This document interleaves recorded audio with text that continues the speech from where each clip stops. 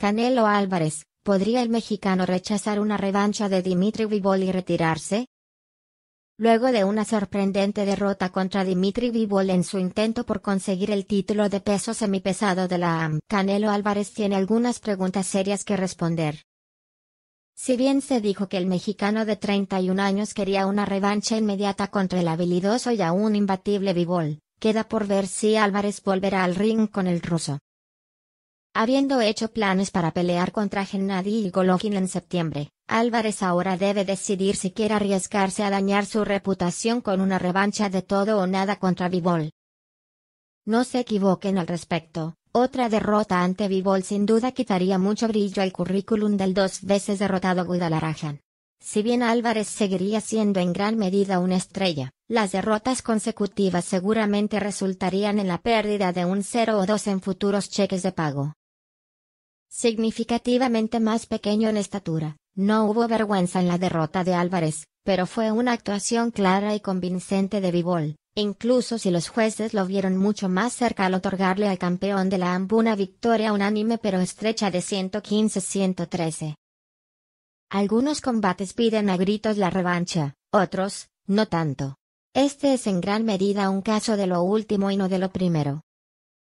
Renunciando a muchas ventajas naturales, Álvarez fue nada menos que ambicioso en su intento de destronar al ruso 20-0, pero como dice el viejo adagio, hay categorías de peso por una razón.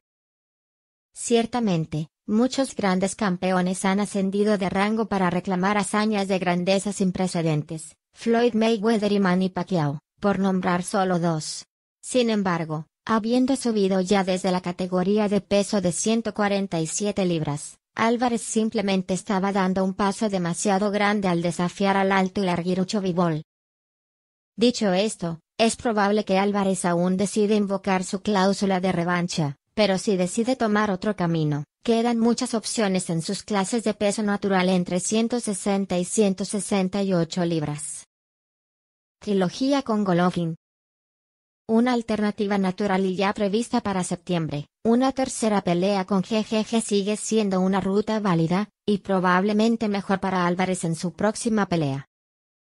A los 40 años, no cabe duda de que el anciano kazajo ya pasó su mejor momento, pero luego de su victoria contra Yoto Murata en Japón, Golovkin es un picor que Canelo bien podría decidir que vale la pena rascarse.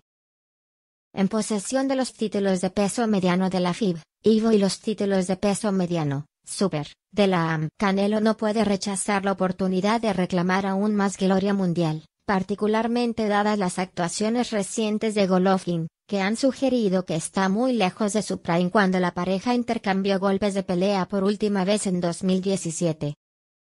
Más allá de los títulos en juego en 160 libras, GGG atrae mucha atención, y aunque la pelea no es tan exitosa en taquilla como podría haber sido un par de años antes, una trilogía con el kazajo seguramente está en la agenda de Álvarez en caso de que la deje pasar. La oportunidad de revancha con Bivol. Enfréntate a las armas jóvenes. A los 31 años, Canelo no es de ninguna manera un peleador viejo, pero con más de 60 peleas en su currículum, el reloj de su carrera de ahora 17 años podría estar corriendo más rápido de lo que imaginamos. Si bien se han mencionado los deseos de pelear por otros 7 u 8 años, Álvarez está en su mejor momento. Él podría creer que avanzar en las categorías de peso es su mejor apuesta para asegurar la legitimidad a largo plazo del legado, pero consolidar su estatus como el mejor peso mediano, y supermediano de su era debería ser la prioridad inmediata.